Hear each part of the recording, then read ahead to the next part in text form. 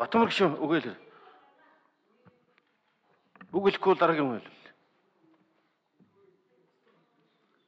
А за хуулийн цэц хуулийн цэцэн гишүүн нэр дэвшигчийг солигдох услуулсад нэр дэвшигчийг үндсэн сонсгол явуулах нь үндсэн хууль зөрчиж байна гэж ингэж үнэл гаргасан.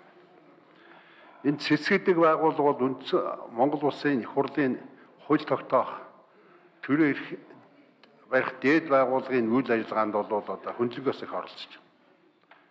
Энэ цэцгийн хуулиндаа нэг өөрчлөлт хийвэл яасан юм бэ? Цэцгийн асуудлыг нэг авч үзүүд яасан.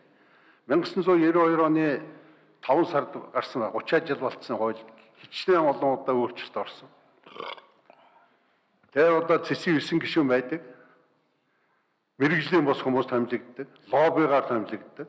Тэрийг хамгаалж хяналтын сонсголоос утж байгаа юм шиг нэг юм хийж байгаа. Энэ улсын хурлын цэцгийн асуудлыг авч үзүүл яасан юм бэ? Улсын хурлч одоо төрийн эрхтэй байгуулга юм бол энэ томилгооны сонсголуудыг маш сайн хийх ёстой. Одоо бол олигтой хийж чадахгүй байгаа ш. Бас нэг лобби ороод ингээл монголчууд жижиг нэг танил талаараа яваад ийм учраас тэр хяналт шалгалтын хуулинд бол хуулиа улам боловсронгуулах ёстой. Хяналтын сонсголыг бол маш сайн хийх ёстой. Шүүлтүүрийг маш сайн хийх ёстой. Ингэж ээж одоо бидний ажил сайн сайхан явна гэж ингэж үзэж байгаа. За цэс хийсэн гişүүдээ. Одоо мэрэгжил бол янз бүр. Уг нь бол одоо би ойлгохдоо сайн хуульч нар, сайн эдийн засгч нар байх хэрэгтэй гэж байна. Гэтэл ямар байдаг вэ гэхээр эдийн засгийн асуудлынхаар мэрэгжлийн бос хүмүүст нөхчдөг. Хуулийн асуудлынхаа бас мэрэгжлийн бос хүмүүст нөхчдөг.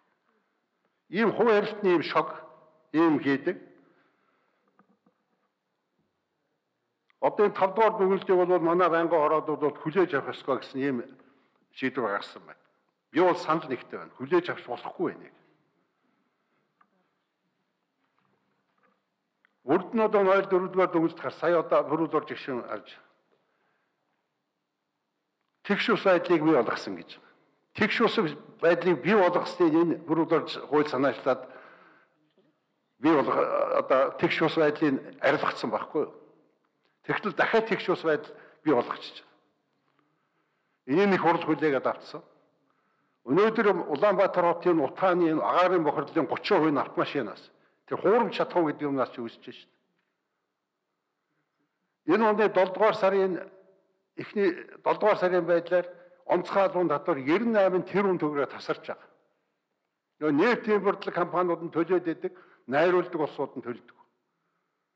Тийм учраас засгийн газар бол хэрвээ энийг найруулахын зөвшөөрч байгаа юм бол онцгойлон татвар тогтоох ёстой. Бүгд л одоо энд хүлээн зөвшөөрсөн шүү дээ. Энэ хуурамч шатхууны энд ер нь цааталт бол авилгалын асуудал байгаа шүү. Баригдана энэ бол баригдана. Ийм үг хийгээд байгаа улсууд одоо өнөөдөр хууль хяналтын байгууллагуудаар шалгахж байгаа шүү. Тийм учраас бол одоо энэ дээр их онцгой анхаарч нэгж авчих хэрэгтэй. Ямар ч бас энэ гаргасан 5 дугаар дүгнэлтийг бол хүлээн зөвшөөрөх боломжгүй гэдэгт санал нэг байна.